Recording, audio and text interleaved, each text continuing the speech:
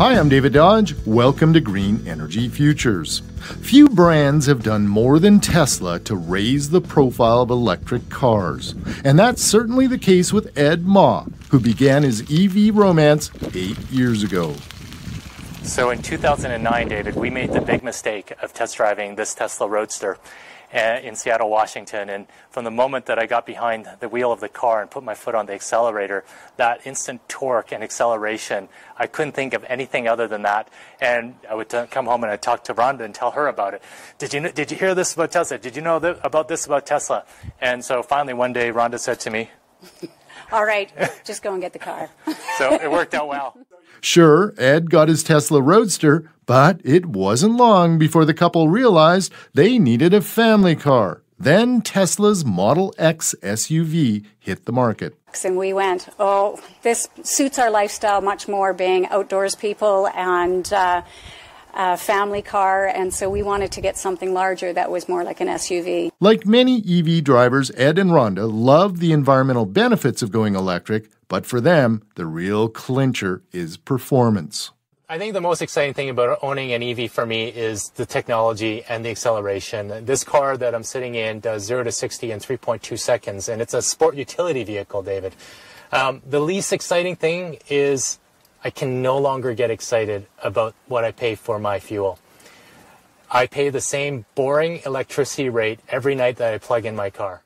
Instead of cruising the streets, hoping to save five cents on a liter of gas, Ed simply plugs his EV in when he gets home and fills it up for six bucks. This is our um, high power wall charger for the Tesla Model X. This is a, runs on a 220 volt uh, system, uh, which means it's the level 2 chargers. Running 90 amp circuit through here on a 220 volt system, we can recharge the car in less than four hours from empty to full. We often hear about range anxiety in electric vehicles. Ed spends very little time worrying about it. This car has about a 400 kilometer range. It's a 90 kilowatt hour battery. We take this car every weekend pretty much to the mountains in the wintertime, all season long. In the summer, it doesn't matter what time of year. We go everywhere with this car. That's right. Ed and Rhonda drive their Tesla to the mountains and back in the winter. Generally, on average, I would say um, the average winter day or te- temperature, it's about 20% uh, range degradation. However, with that said, when you have a large battery, it really is irrelevant for your daily uh, your daily commutes.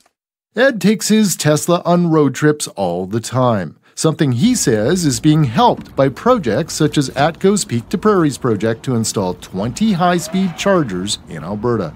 ATCO's doing an amazing job in terms of the leadership and building out uh, a, a, a, network of electric vehicle chargers for, across Alberta. When I first got my uh, first electric car about eight or nine years ago, there were very few ch- electric vehicle charging stations.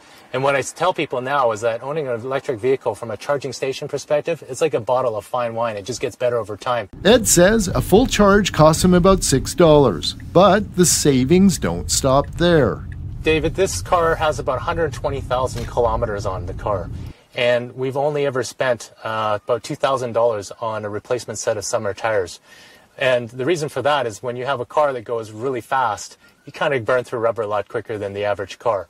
On a regular basis, charging costs about $6 to fill up. Ed Ma and Rhonda Blair now own their fourth electric vehicle, and Ed is already pining for the new Tesla Roadster, the first production vehicle to do 0 to 100 in under two seconds. Listen to our series, Life with an Electric Vehicle, see photos and video at greenenergyfutures.ca. For Green Energy Futures, I'm David Dodge.